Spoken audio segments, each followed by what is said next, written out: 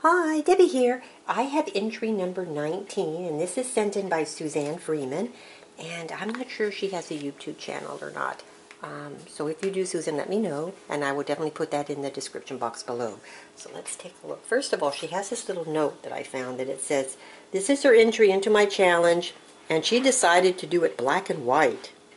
Okay, since she says she's just loves her little mice, and I thought this would be a little different, and I hope you like it. I'm sure I will soon. This is I can't wait to see what you have done, because that's you know that's okay. There it is. I haven't really looked at it other than taking it out of the package, but I'm really very curious how this is going to look black and white. I'm sure it's going to be lovely. Too. Black and white can be really really pretty, because I know I like black and white photographs as opposed to color.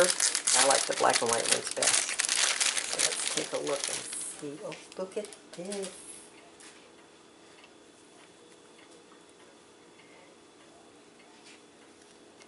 Look at that.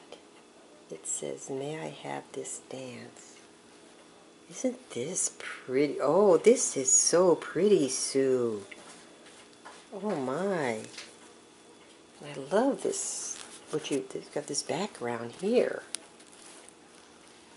Oh, this is really beautiful. This turned out really nice.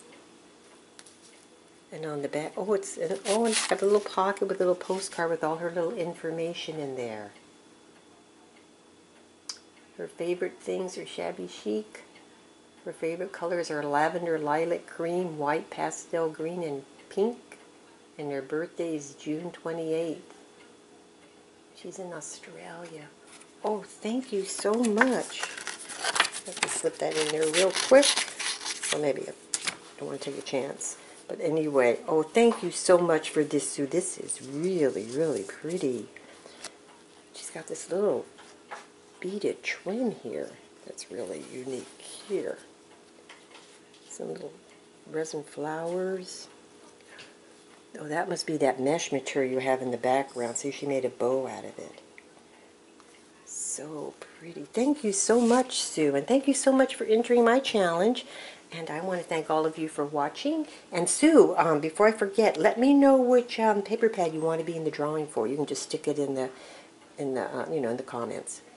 Bye for now.